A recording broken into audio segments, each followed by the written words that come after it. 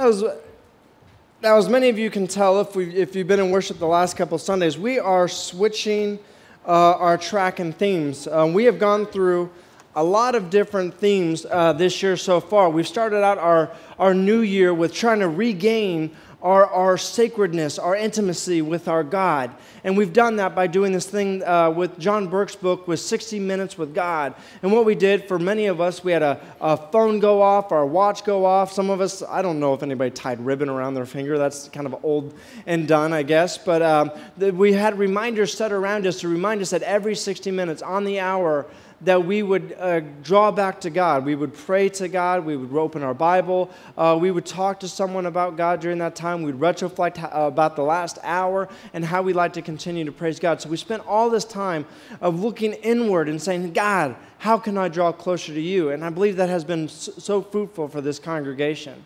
We've also came to a time of, I did a very short sermon series on the, on the vision of our church, and it's to love God to love people, and to serve. It's one of those very concrete, simple things that we can grasp onto and do. And I think that's been very helpful for us uh, to realize that we need to do all three of those to be a vital congregation, and with that, to continue to be connected with our God in intimate in, in ways, intimately, and with ways in which God has called all of us to be disciples of sharing the good word with all. Which, uh, which go, which our whole theme for the United Methodist Church is to make disciples of Jesus Christ for the transformation of the world. Now, we're not going to ever get away from that because every time we have a Sunday, we, we say it's a mini Easter, right? We're always coming together to celebrating the grace that God has given us about when we come to the Lord's Supper and we're reminded of the death and resurrection. It doesn't leave a death, of the resurrection that we have, that God makes a mini resurrection in us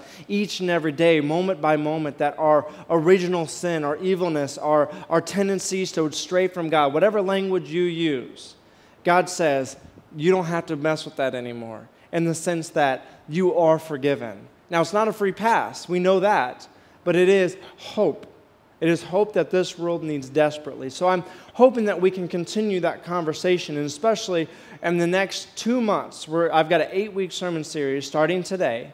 Um, and what we're going to be doing is we're going to, uh, if you guys know Thomas Aquinas, uh, uh, uh Thomas Aquinas, uh, and he is Seven Deadly Sins. Um, we, we talk about these. Uh, here, I don't know if I was able to do this, but would you, does anybody here think that they can name all the seven deadly sins? Let's see if we can. What's like one of the bigger ones? Yeah, greed is one of them. Gluttony is one of them. You're not going in my order, but yes, sloth works too. Envy, yeah, we got that one. Yeah, that's part of it, yes. Anger, wrath. Now, what about the, the, the, the one that we, we can't talk about in church?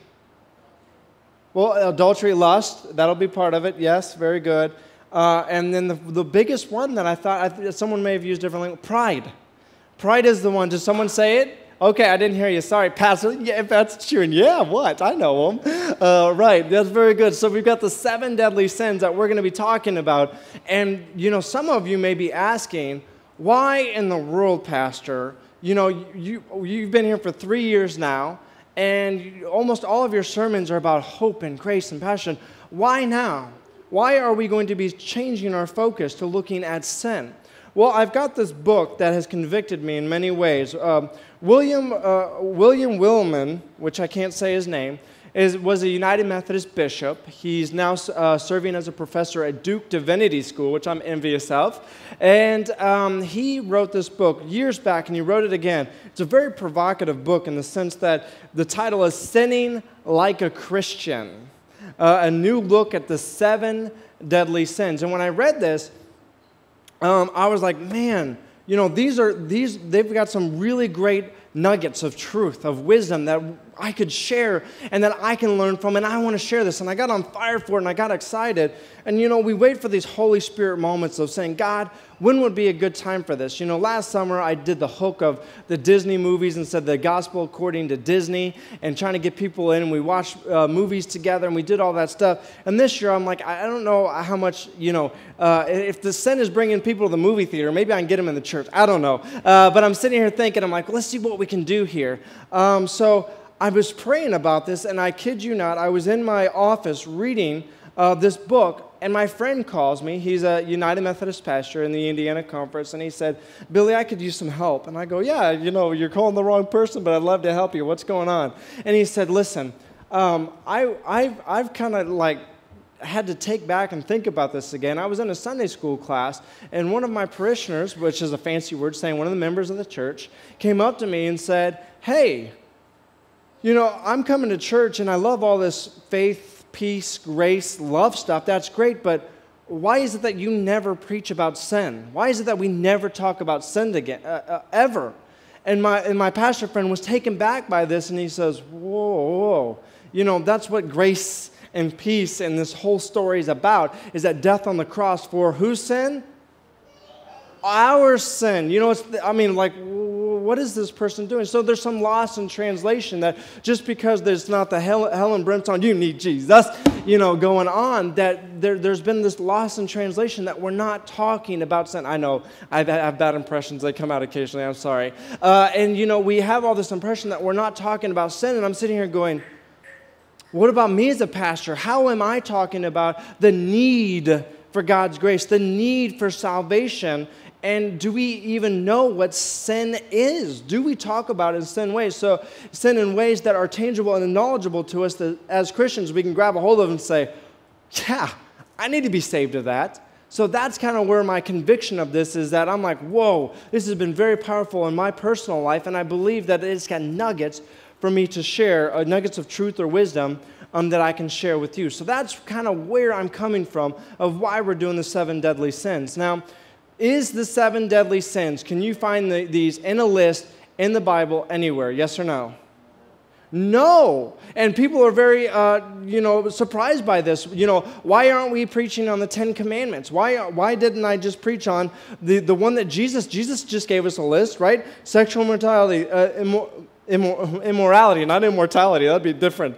Uh, theft, murder, adultery, greed, malice, deceit, lewdness, envy, slander, arrogance, and folly. There's all these different things. Just stay with me. Uh, try, try your best. Um, there's all these different things that God has given us a list. We've got list here. What happened was is these, these think tank came together and they said, that first they kind of called them the seven mortal sins. Maybe you've heard that.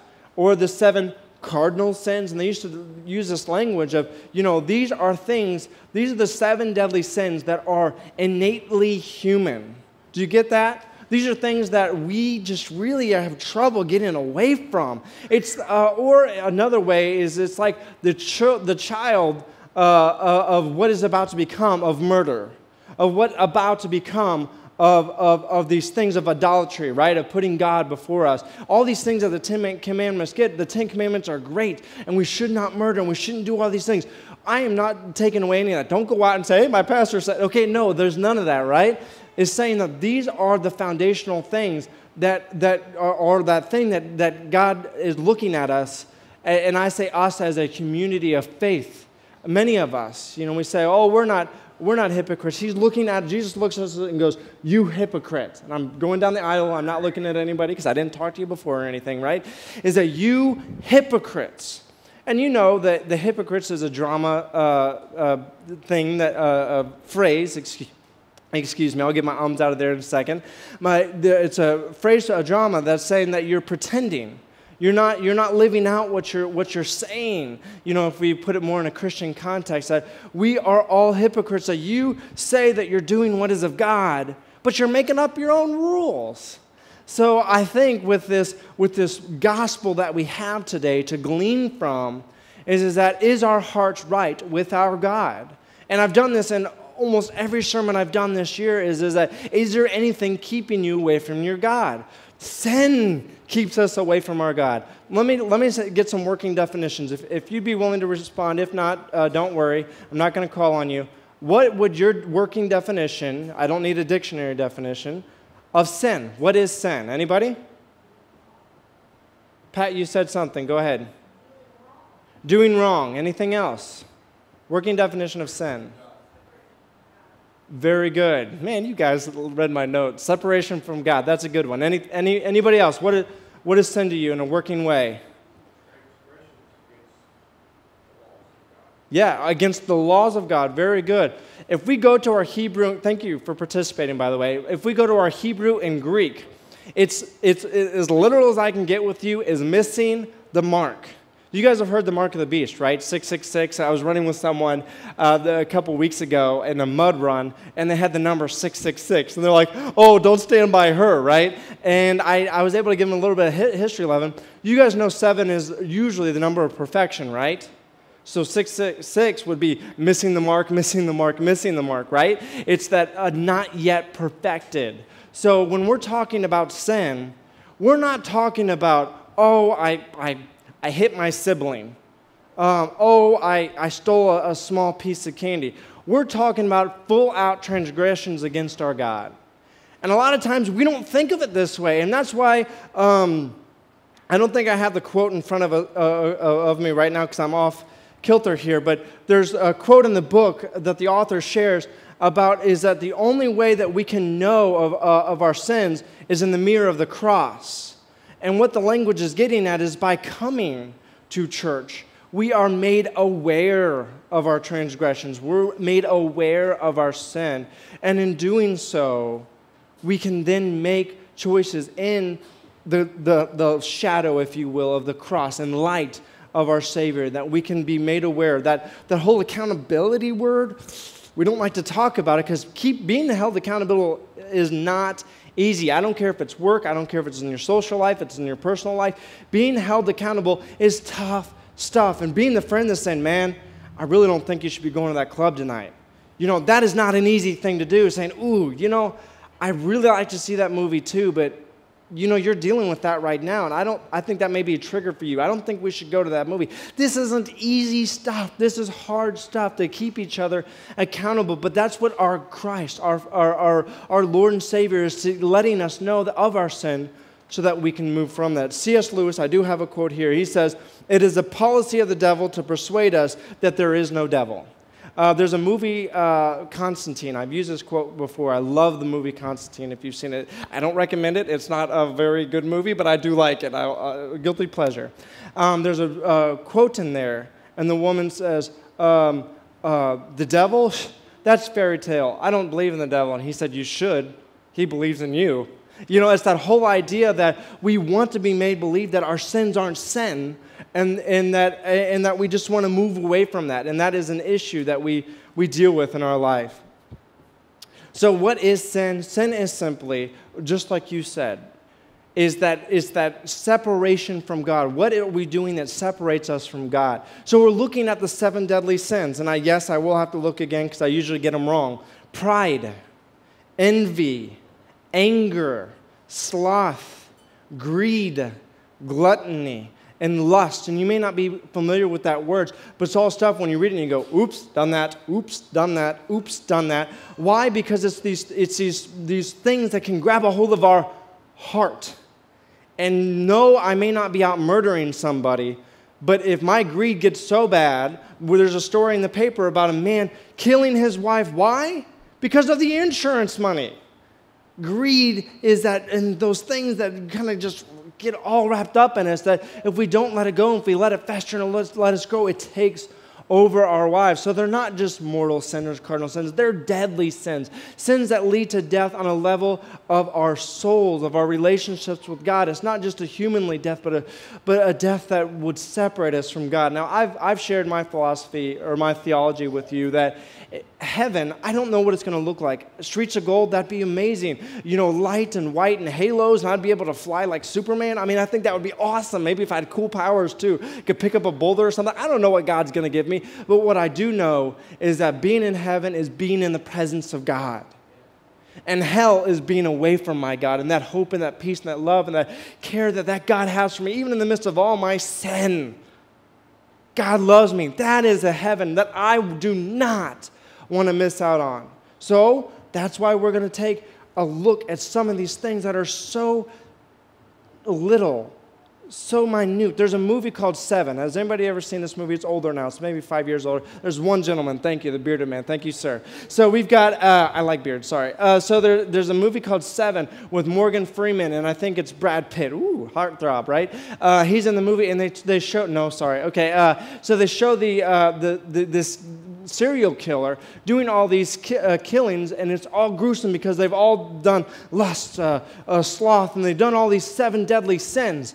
But that's not what it truly is about. It's not this big show uh, of what it's about. We all are sinners. As my father uh, let me know, and he's sitting here today, uh, so I get to embarrass him. But um, as my father shared with me when I was growing up, uh, he would come into church, we'd look around, and he's a wise guy if you don't know him, and he'd look around and he'd go, Man, look at all these sinners in here. You know, uh, it's just reminded that we are all sinners and that we all, he even shared a joke with me today about sinners that, uh, you know, what did, the what did the pastor say about sinning? Oh, well, he was against it. You know, uh, sin is a part of our church, of who we are.